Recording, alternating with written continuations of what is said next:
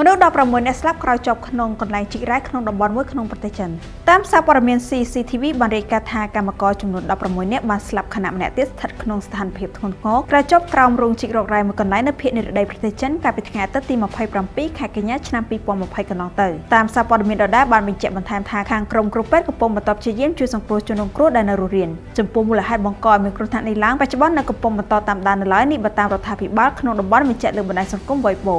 នេះគឺជាចំនួនមនុស្សស្លាប់ក្រោយជាប់នៅក្នុងរោងជីករ៉ែមួយកន្លែងនៅប្រទេសចិន។